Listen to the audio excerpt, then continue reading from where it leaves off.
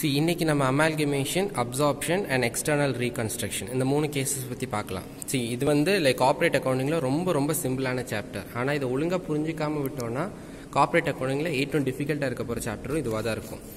C amalgamation ஒன்று ஒன்றா டீட்டெயிலாக படிச்சு போகலாம் I'll tell you what is this amalgamation see amalgamation means when two company is joined together to form a new company is called amalgamation. ரெண்டு company ஒன்றா சேர்ந்து ஒரு புது கம்பெனியாக உருவாச்சுன்னா நம்ம அமால்கமேஷன் சொல்லுவோம். இந்த கேஸில் ஏ கம்பெனி இருக்குது பி கம்பெனி இருக்குது ஸோ ரெண்டு கம்பெனியும் சேர்ந்து ஏபி லிமிடெட் கம்பெனி ஆச்சுன்னா அந்த கேஸ் நம்ம அமால்கமேஷன் அமால்கமேஷன் சொல்லுவோம். So not an issue right ரெண்டாவது கேஸ் அப்சார்ப்ஷன் அப்சார்ப்ஷனுங்கிறது ஆல்ரெடி இப்போ A limited company and B limited company so ரெண்டு கம்பெனிஸ் இருக்குதுன்னா ஒரு கம்பெனியை வந்து இன்னொரு கம்பெனி வாங்கிக்கிற கேஸ் இந்த கேஸில் ஏ லிமிடெட் பி லிமிடெட் இங்கே வந்து பி லிமிடெட் வந்து ஏ லிமிட்டடை வாங்கிக்கிச்சு விச் மீன்ஸ் அப்சார்ப் பண்ணிக்கிடுச்சு ஸோ இந்த ஒரு கேஸை நம்ம அப்சார்ப்ஷன் சொல்லுவோம். சிம்பிள் ரைட் ஸோ மேல்கமேஷனாக ரெண்டு கம்பெனி சேர்ந்து ஒரு புது கம்பெனியை உருவாகிறது அப்சார்ப்ஷன்னா ஆல்ரெடி இருக்கிற ஒரு கம்பெனி இன்னொரு கம்பெனியை வாங்கிக்கிறது. ரொம்ப simple third case external reconstruction so இந்த ப்ரீவியஸில் நம்ம பார்த்த அமால்கமேஷன் அப்சார்ப்ஷனில் அட்லீஸ்ட் ரெண்டு கம்பெனியாக அது இருக்கும். இங்கே ஒரே ஒரு கம்பெனி தான் இருக்கும். லைக் இப்போ X limited company Y limited company case எப்படின்னா just read this see the existing company will wind up the current business with the same set of shareholders. They will start up a new business. Is called external reconstruction.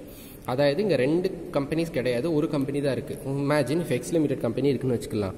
நம்ம என்ன பண்ணுவோம்னா X limited கம்பெனியை ஃபுல்லாக wind up பண்ணி அங்கே இருக்கிற அதே share holders அதே கேபிட்டல் வச்சு இன்னொரு கம்பெனியில் ஃபார்ம் பண்ணி உருவாக்குறோம். அதே பிஸ்னஸ் வேற ஒரு கம்பெனி பேரில் ரன் ஆகுது. It is called external reconstruction ஒரு கம்பெனியை வைண்ட் அப் பண்ணி அந்த கம்பெனியில் இருந்த அதே ஷேர் ஹோல்டர்ஸை வச்சு இன்னொரு கம்பெனியில் ரன் பண்ணிக்கிட்டு இருந்தால் we call that is external reconstruction so three cases amalgamation absorption external reconstruction I repeat அமால்கமேஷன்னா ரெண்டு கம்பெனி சேர்ந்து ஒரு கம்பெனியை உருவாகிறது. அப்சார்ப்ஷன்னா இருக்கு ஆல்ரெடி இருக்கிற ஒரு கம்பெனி இன்னொரு கம்பெனியை வாங்கிக்கிறது. எக்ஸ்டர்னல் ரீகன்ஸ்ட்ரக்ஷன்னா ரெண்டு கம்பெனி இல்லாமல் ஒரே ஒரு கம்பெனி தான் இருக்குது அந்த ஒரு கம்பெனி அவங்களோட பிஸ்னஸை ஃபுல்லாக வைண்ட் அப் பண்ணி அங்கே இருந்த அதே கேபிட்டல் அதே ஷேர் ஹோல்டர்ஸ் வச்சு இன்னொரு கம்பெனியாக ரன் ஆகிறது எக்ஸ்டர்னல் ரீகன்ஸ்ட்ரக்ஷன் சொல்லுவோம். So no doubt right very simple see அதுக்கப்புறம் நம்ம பர்ச்சேஸ் கன்சிடரேஷன் எப்படி கண்டுபிடிக்கிறதுன்றதை பார்க்கணும். See purchase consideration means the aggregate of the shares and other securities issued and the payment made in the form of cash or other assets by the purchasing company to the shareholders of the selling company சுருக்கி சொல்லணும்னா see anything that is payable to the shareholders alone is call purchase consideration ரெண்டு company இருக்காங்க இப்போ ஏ company B company அதாவது இப்போ B company வந்து ஏ கம்பெனியை வாங்கிக்கிறச்சுன்னா obviously வாங்குறதுக்கு நம்ம பைசா கொடுத்து தான் ஆகணும். So there should be something that is payable by the seller company to the selling company then அதாவது வாங்குறவன் கொடுக்குறவனுக்கு கண்டிப்பாக பைசா கொடுத்து தான் ஆகணும். ஸோ அதே தான் ஸோ நம்ம பர்ச்சேஸ் கன்சிடரேஷனை எந்த கம்பெனி வாங்குதோ அது விற்கிற கம்பெனிக்கு ஆப்வியஸ்லி கொஞ்சம் பைசா கொடுக்கணும். So anything that is payable to the shareholder alone is call purchase consideration mark this payable to the shareholder alone is call purchase consideration so நம்ம ஒரு கம்பெனியை வாங்கும்போது ஆப்போசிட் கம்பெனியோட ஷேர் ஹோல்டர்ஸ்க்கு நம்ம என்ன ஒரு விஷயத்தை கொடுத்தாலும் அதை நம்ம பர்ச்சேஸ் கன்சிடரேஷன் தான் சொல்லுவோம்.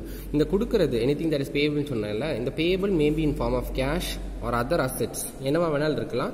பர்ச்சேஸ் கன்சிடரேஷன் ஆப்வியஸ்லி இன்க்ளூட் ஆகும். ஸோ இந்த பர்ச்சேஸ் கன்சிடரேஷன் நம்ம கண்டுபிடிக்கிறதுக்கு நாலு மெத்தட்ஸ் இருக்கு. See these are those four methods lump sum method net payment method net asset method and intrinsic value method so இந்த நாலு மெத்தடில் தான் எபோ சொன்ன பர்ச்சேஸ் கன்சிடரேஷன் நம்ம கண்டுபிடிக்க முடியும். ஐ ரிப்பீட் பர்ச்சேஸ் கன்சிடரேஷனாக ஒன்றுமே கிடையாது. எந்த கம்பெனி வாங்குது எந்த கம்பெனி விற்கிது ஸோ வாங்குற கம்பெனி விற்கிற கம்பெனிக்காக நம்ம ஆப்வியஸ்லி கொஞ்சம் பைசா கொடுத்தா தான் அந்த கம்பெனியை வாங்க முடியும் ரைட் அந்த அமௌண்ட் எவ்வளோ கொடுக்குறோமோ அந்த அமௌண்ட் தான் பர்ச்சேஸ் கன்சிடரேஷன் ஷார்ட்டாக ரிமெம்பர் பண்ணுறதுக்கு இது போதும். ஸோ இந்த பர்ச்சேஸ் கன்ஸ் அவள் பேபிள் பண்ணுறோம்ல ஆப்போசிட் கம்பெனி ஷேர் ஹோல்டர்ஸ்க்கு இந்த பேபிள் பண்ணுறது maybe in form of cash or any other asset என்னவா வேணாலும் இருக்கலாம்.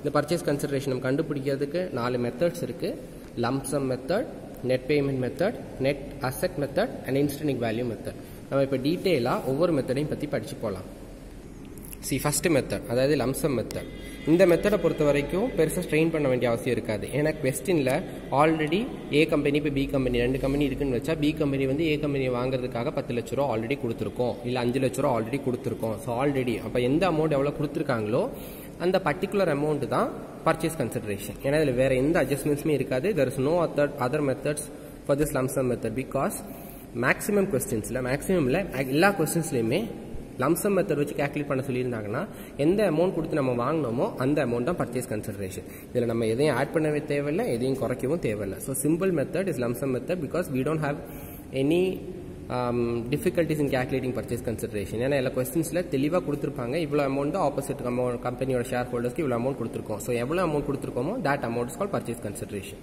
then so lump sum மெத்தடில் ஒரு ப்ராப்ளமே இருக்காது.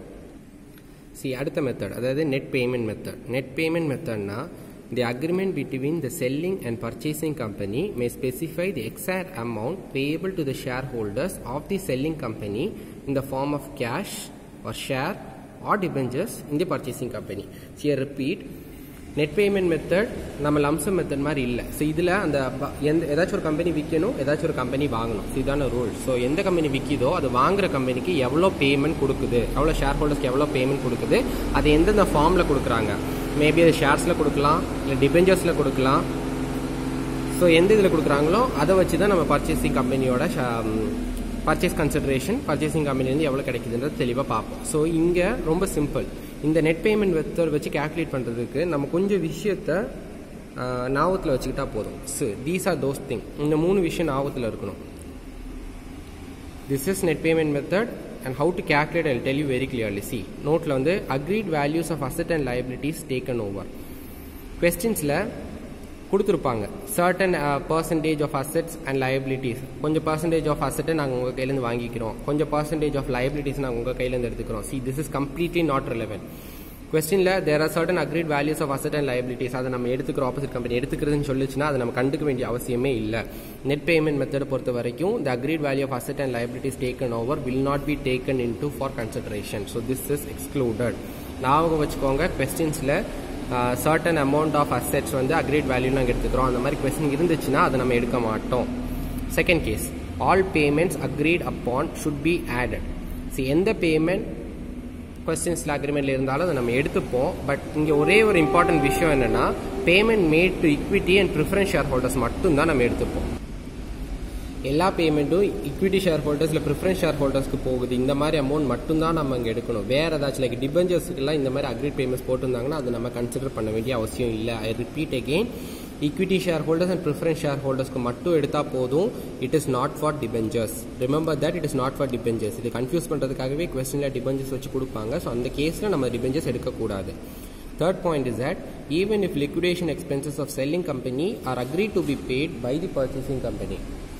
See obviously ஒரு கம்பெனி ஒரு கம்பெனி வாங்கும்போது லிக்விடேஷன் எக்ஸ்பென்சஸ்லாம் நடக்கும்ல. ஸோ அது நம்ம எடுக்க தேவையில்லை. Should not be added to purchase consideration so liquidation expenses வந்து செல்லிங் கம்பெனி வந்து பர்ச்சேசிங் கம்பெனியோட தலையில் கெட்ட பார்த்தாங்கன்னா அதாவது நீங்கள் அக்ரி பண்ணி மாதிரி எடுத்துக்கிட்டோன்னா அது நம்ம எடுக்க வேண்டிய அவசியம் கிடையாது it is purely excluded then so இந்த பர்டிகுலர் கேஸ் அதாவது point number two any payment agreed upon should be added obviously it should be added but excluding debentures it is added only for equity shareholders and preference shareholders so keep that in your mind okay this is all about net payment method the next method is net asset method So we have a formula for calculating purchase consideration by using net asset method.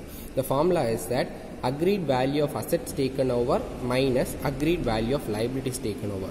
We told in the previous case, right? Net payment பொறுத்த வரைக்கும் agreed value of asset and liabilities taken over is not relevant for net payment method but it is relevant in net asset method net asset மெத்தடில் agreed value of asset and assets taken over minus agreed value of liabilities taken over so எவ்வளோ value of assets taken ஓவர்ன்றதை பார்த்து நம்ம எழுதி அதில் எவ்வளோ value of liabilities எடுத்திருக்காங்க அதையும் எழுதி ரெண்டுக்குள்ள டிஃப்ரென்ஸ் தான் பர்ச்சேஸ் கன்சிடரேஷன் எதை பொறுத்த வரைக்கும்? நெட் அசெட் மெத்தட் பொறுத்த வரைக்கும். பட் நெட் பேமெண்ட் மெத்தட் பொறுத்த வரைக்கும் it's entirely different so no don't forget okay two methods are completely different so net payment method net asset method method so இப்போ நம்ம ரெண்டு மெத்தட் முடிஞ்சு. And last method is that இன்ஸ்டனிங் value method right so will move on to that and one more thing the நம்ம already net payment method and net asset method பார்த்தோம். அந்த net asset மெத்தட்லேயும் net payment method மாதிரி certain noting values இருக்கு. I tell you what are those noting values will have a short look on that also see net asset method பொறுத்த வரைக்கும் இந்த first thing is that when a company takes over another company it implies both asset and liabilities are taken over. ஒரு company வந்து இன்னொரு கம்பெனியை ஃபுல்லாக வாங்கிக்கிட்டாங்க அப்படின்னு சொல்லியிருந்தாங்கன்னா அங்கேயே நம்ம புரிஞ்சுக்கணும் அது அசட் லைபிலிட்டிஸ் ரெண்டையுமே மொத்தமாக வேல்யூ பண்ணி எடுத்துக்கிட்டாங்க. அது எதுவுமே விட்டுட்டு போகல. There giving a short word in question like when company is taken over by another company which means அது நம்மளாவே புரிஞ்சிக்க வேண்டியது என்னன்னா ஆப்வியஸ்லி இந்த கம்பெனியோட அசட்டும் லைபிலிட்டிஸ் நம்ம மொத்தமாக தான் டேக் ஓவர் பண்ணியிருக்கோம்னு எடுத்துக்கணும் பின்ன ரெண்டாவது பாயிண்ட் பாருங்களேன். கேஷ் அண்ட் பேங்க் பேலன்சஸ் கொஸ்டின்ஸில் கேஷ் பேங்க் பேலன்ஸில் இருந்துச்சுன்னா அதை ஆப்வியஸ்லி நம்ம இன்க்ளூட் பண்ணுவோம். But if there is any losses those losses are not to be taken as asset asset நம்ம கேல்குலேட் பண்ணும்போது கேஷ் பேங்க் பேலன்ஸில் இருந்தால் அதை ஆப்வியஸ்லி நம்ம இன்க்ளூட் பண்ணிக்கலாம். ஆனால் அது லாஸாக இருந்துச்சுன்னா ஆப்வியஸ்லி அதை நம்ம இன்க்ளூட் பண்ணவே கூடாது. So if there is losses அசெட்டை அதை கேல்குலேட் பண்ண மாட்டோம். கேஷ் அண்ட் பேங்க் பேலன்ஸ் இருந்தால் மட்டும்தான். ப்ராஃபிட்டாக இருந்தால் ஆட் பண்ணுவோம். லாஸ் இருந்தால் ஆட் பண்ண மாட்டோம். So keep that also in your mind for net asset method third point பாருங்களேன். Any specific assets not taken over obviously I told you see taken over as uh, the agreed value of assets taken over minus agreed value of liabilities taken over. So this point like any specific assets not taken over obviously should be ignored right ஏன்னா நம்ம இங்க எந்தெந்த அசட்ஸ்லாம் taken over பண்ணியிருக்கோம் எந்தெந்த லைபிலிட்டிஸ்லாம் taken over பண்ணியிருக்கோம் இதை மட்டும் கணக்கில் எடுத்துக்கிட்டா போதும் பாக்கி எல்லாத்தையுமே இக்னோர் பண்ணிடலாம் liabilities include all amount due to third parties see liabilities includes all amount due to third parties which means அந்த அமௌண்ட் இந்த இந்த பாயிண்ட் நல்லா நோட் டவுன் பண்ணி வச்சுக்கோங்க நான் ஒரு சம் பண்ணும்போது I tell you very clearly liabilities includes all amount due to third parties ஏன்னா நம்ம தேர்ட் பார்ட்டிக்கு எந்த அமௌண்ட் கொடுத்தாலும் that should be included in liabilities remember this point very carefully sums பண்ணும்போது இந்த பாயிண்ட் ரொம்ப ஹெல்ப்ஃபுல்லாக இருக்கும் ஃபிஃப்த் பாயிண்ட் பாருங்களேன் accumulated profit should not include I tell you you again, profit this This profit it obviously belongs to the share shareholders. okay not for the third parties so accumulated profits liabilities நம்ம கணக்கு காட்ட மாட்டோம் this is part of shareholders அதனால தான் இதை include பண்ண மாட்டேக்கும் liabilitiesல accumulated profit எழுத மாட்டோம் because accumulated profits are not given to third parties it is given to shareholders that is why it is not included பின்ன if any fund denotes liability to third party it has to be included so if there is any fund that denotes liability to third party third partyக்கு நம்ம obviously ஏதாவது liability கொடுத்தா obviously include பண்ணிடுவோம் because we should agree every as every liability is taken over பின்ன liabilities not taken over should be excluded very simple point right எந்தெந்த liabilities நம்ம எடுக்கலையோ அது நம்ம கணக்கில் எடுக்க வேண்டிய அவசியமே கிடையாது so this is all about net asset method so ரெண்டு மெத்தட் இப்போ பார்த்துருக்கோம் net payment method and net asset method I know it will be a little bit confusing for someone and don't worry have a mark through it நம்ம ஒரு question பண்ணும்போது இது ரொம்ப தெளிவாக புரியும். நம்ம இந்த ரெண்டு net payment method net asset method மட்டும் வச்சு ஒரு சம் பண்ணி பார்க்கலாம். ஸோ அது உங்களுக்கு ஃபர்தர் மோர் கிளாரிஃபிகேஷனை கொடுக்கும். We'll move on to the sum then see இப்போ இந்த கொஸ்டினை பார்த்துக்கோங்க. This is a question for both net asset method and net payment method so இந்த கொஸ்டின் நம்ம டேலி பண்ணும்போது ரொம்ப சிம்பிளாக புரியும். Net asset method net payment மெத்தட்லையும் purchase consideration எப்படி கண்டுபிடிக்கிறது. See this is the following balance sheet of Alice limited as thirty first three two thousand fourteen liabilities asset ரெண்டுமே இருக்குது usual form of balance sheet share capital வந்து ரெண்டு டைப்பில் இருக்குது preference share capital liquidity share capital preference share capital வந்து eight percentage preference share capital rupees hundred each three lakh seventy five thousand சொல்லி amount எழுதியிருக்காங்க. Equity shares வந்து ஒரு ஷேரோட வேல்யூ பத்து ரூபா. மொத்தம் செவன் லேக் ஃபிஃப்டி தௌசண்ட் அளவுக்கு வேல்யூ இருக்குது ஜென்ரல் ரிசர்வ்ஸ் இருக்குது we have debentures current liabilities அசெட்டில் வந்து fixed asset investment and current asset கீழே ஃபர்தர் அட்ஜஸ்ட்மெண்ட்ஸ் நோட்டில் see Alston limited agree to take on over the business of Alice limited so Alice லிமிட்டோட பிஸ்னஸை வந்து Alston லிமிடெட்னு ஒரு புது company வாங்கிக்கிறது. So இப்போ purchase concentration கண்டுபிடிக்கணும் both under net asset method அந்த basis of policy Alston limited agree to discharge eight percentage debentures at a premium of ten percentage by issue issuing nine percentage debentures of Alston limited see I repeat, Alston Limited agreed to discharge 8% debentures at a premium, which means Alston Limited வந்து எட்டு percentage debentures இருந்துச்சுல அதை வந்து ப்ரீமியமில் discharge பண்ணுது you know what is premium already நம்ம holding company பார்க்கும்போது நான் சொல்லியிருக்கேன் premium means greater value discount means குறவான value இங்கே வந்து at a premium which means greater வேல்யூவில் எடுக்கணும். At a premium of ten percentage already இருக்கிற வேல்யூவோட பத்து பர்சன்டேஜ் கூடுதலாக by issuing nine percentage debentures of Alston limited done second point பாருங்களேன். Fixed assets are to be valued at 10 percentage above book value. The investment at par fixed asset வந்து it is to be valued ten percentage above the book value so ஆக்சுவலாக fixed asset வந்து பத்து percentage fixed asset book வேல்யூவை காட்டும் பத்து percentage கூடுதலாக value பண்ணணும்னு கொடுத்துருக்காங்க. இன்வெஸ்ட்மெண்ட்ஸ் அட் பார் பாருங்கும் போது சேம் வேல்யூ ஸோ இன்வெஸ்ட்மெண்ட் இப்போ பத்து லட்ச ரூபா இருந்துச்சுன்னா ஆப்வியஸ்லி இங்கே பர்ச்சேஸ் கன்சிடரேஷன் எழுதும் போது அதே டென் லேக் எழுதினா போதும். So par means no change current assets at ten percentage discount நான் ப்ரீமியம்னா கூடுதலான வேல்யூவும் டிஸ்கவுண்ட்னா குறைவான வேல்யூன்னு சொன்னேன். விச் மீன்ஸ் கரண்ட் அசெட் வந்து பத்து பர்சன்டேஜ் குறைச்சி வேல்யூ பண்ணும். இப்போ உதாரணத்துக்கு கரண்ட் அசெட் வந்து பத்து லட்ச ரூபா இருந்துச்சுன்னா டென் லேக் ஓட டென் பர்சன்டேஜ் ஒன் லேக்னு வரும். So ten lakh minus one lakh is equal to nine லேக்ன்றத purchase consideration அமௌண்ட்டில் எழுதுவோம். பர்ச்சேஸ் கன்சிடரேஷன் கேல்குலேஷன் பண்ணுற அந்த இதில் எழுதுவோம். And current liabilities at book value see current liabilities at book value அப்போ புக் வேல்யூ எவ்வளோ இருக்கோ அதே அமௌண்ட் நம்ம எழுதினா போதும். And the third third adjustment is that see for every two equity share in Alice Limited five equity shares of rupees 10 each in Alston Limited will be issued in addition to cash payment of rupees 2 per equity share in Alice Limited See, தெளிவாக பாருங்கள் ஒவ்வொரு ரெண்டு ஷேருக்கும் அஞ்சு equity shares கிடைக்கும் and that will be issued in addition to cash payment of rupees two per equity share so ஒவ்வொரு ரெண்டு ஷேருக்கும் அஞ்சு equity share அடிஷ்னலாக கிடைக்கி அது இல்லாமல் கேஷ் பேமெண்ட்ற பேரில் ரெண்டு ரூபா கூடுதலாக ஈக்விட்டி ஷேர் பேரில் ஆர்எஸ் லிமிட்டடில் ஆட் ஆகும். டன் ரைட் ஸோ நம்ம இப்போ ரெண்டு பேமெண்ட் மெத்தடில் பார்க்கலாம். ஃபர்ஸ்ட் ஒன் நெட் அசெட் மெத்தடில் பார்த்துக்கலாம். சி நெட் அசெட் மெத்தட் பொறுத்த வரைக்கும் ஐ டோல்ட் யூ த ஃபார்மில் very clearly right agreed value of assets taken over minus agreed value of liabilities taken over so இது ரெண்டையும் பார்க்கும்போது நமக்கு கிடைக்கும். ஸோ இங்கே பாரு பர்ச்சேஸ் கன்சிடரேஷன் அதாவது agreed value of assets taken over minus agreed value of liabilities taken over agreed value of assets taken over கொஸ்டினில் assets என்னெல்லாம் இருக்குது we have fixed asset investment and current assets right கொடுத்துருக்காங்க. Fixed assets are to be valued ten percentage above book value fixed அசெட்டோட value எவ்வளோ? Fifteen lakh and it is to be value ten percentage above book value so ஆக்சுவலாக fixed asset வந்து fifteen lakh இருந்துச்சு. நான் வந்து பத்து percentage book வேல்யூவோட above add பண்ணியிருக்கேன். So fifteen லேக்கோட பத்து பர்சன்டேஜுங்கும் போது one lakh fifty thousand rupees வரும். So one lakh fifteen lakh plus one lakh fifty thousand sixteen lakh fifty thousand rupees outer காலத்தில் எழுதியிருக்கேன். ஸோ நோ டவுட் ரைட் இதை சிம்பிள் ஆக்கிறதுக்காக ஐ ட்ரா லைன் ஏன்னா அமௌண்ட் கால சிம்பிளிஃபை பண்ணி காட்டிக்கலாம். இந்த second one is at investments the investments at பார்ல வேல்யூ பண்ணியிருக்காங்க. இன்வெஸ்ட்மெண்ட்டோட actual value it was three lakh rupees same three lakh so இன்வெஸ்ட்மெண்ட்டோட value three lakh அதே த்ரீ லேக் அப்படியே எழுதிட்டேன். அடுத்து பாருங்களேன் current assets at ten percentage discount so we have current assets two lakh fifty thousand rupees and it is valued ten percentage discount discount means குறவாக value பண்ணியிருக்கணும். So current asset வந்து simplify எழுதியிருக்கேன் சிஏன்னு சிஏனா it is current asset two lakh fifty thousand இருந்துச்சு minus ten percentage one two lakh fifty thousand அதாவது டிஸ்கவுண்ட்டில் கொடுத்ததால ரெண்டு லட்சத்தி ஐம்பதாயிரரூவோட பத்து பர்சன்டேஜ் குறைச்சி கொடுக்கணும். ஸோ ரெண்டு லட்சத்தி ஐம்பத்தாயிரம் ஐம்பதாயிரரூவாவில் 10 percentage of 2 lakh 50,000 is 25,000 rupees, which means 2 lakh 50,000 minus 25,000 is equal to 2 lakh 25,000 rupees.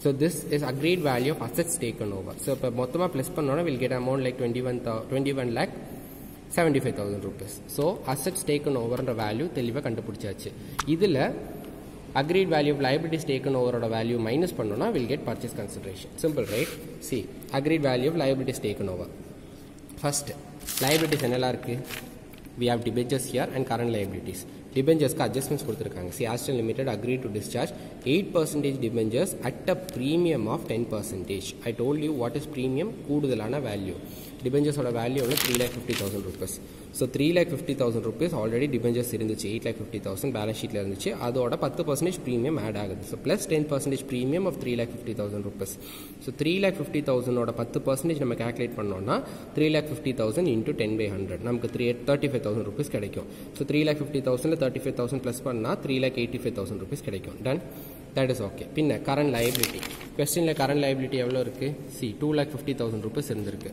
ஏதாச்சும் கொடுத்துருக்காங்களா? By issuing nine percent rupees வாட்சிங் லிமிட்டட் நை அடுத்ததில் see current liabilities at book value so ஆக்சுவலாக two lakh fifty thousand rupees இருந்துச்சு. So அதே book வேல்யூவில் நம்ம எடுத்துக்கிட்டால் போதும். ஸோ கரண்ட் லைபிலிட்டி வந்து two lakh fifty thousand rupees அப்படி எடுத்து எழுதிட்டேன். So three lakh eighty five thousand two lakh fifty thousand வந்துடும் twenty one lakh seventy five தௌசண்டில் we should minus it right so minus three lakh eighty five thousand கிடைக்கிற ஆன்சரில் two lakh fifty thousand மறுபடியும் minus பண்ணோம்னா will get fifteen lakh forty thousand this is value of purchase consideration done very simple right and இதே கொஸ்டினில் like purchase consideration net payment மெத்தடில் எப்படி calculate பண்ணுறது நான் அடுத்த கிளாஸோட வீடியோவில் சிம்பிளாக போஸ்ட் பண்ணி விட்றேன் right so this class is all about over இதில் பர்ச்சேஸ் கன்சிடரேஷன் நம்ம தெளிவாக பார்த்தோம். What is amalgamation absorption external reconstruction எத்தனை மெத்தட்ஸ் இருக்குன்றதை பார்த்தோம். எப்படி எப்படி வேல்யூ பண்ணும் அதுக்குள்ள நோட்டிங்கும் க்ளீனாக கொடுத்துருந்தேன் ஸோ ஒரு கொஸ்டினில் பர்ச்சேஸ் கன்சன்ட்ரேஷனில் நெட் அசெட் மெத்தடும் நெட் பேமெண்ட் மெத்தடும் எப்படி கண்டுபிடிக்கிறதுல பார்த்தோம் இதில் net payment net asset method is almost over net payment method நம்ம அடுத்த கிளாஸ் அடுத்த வீடியோவில் நான் லிங்க் போட்டு அனுப்பி விடுறேன். தேங்க்யூ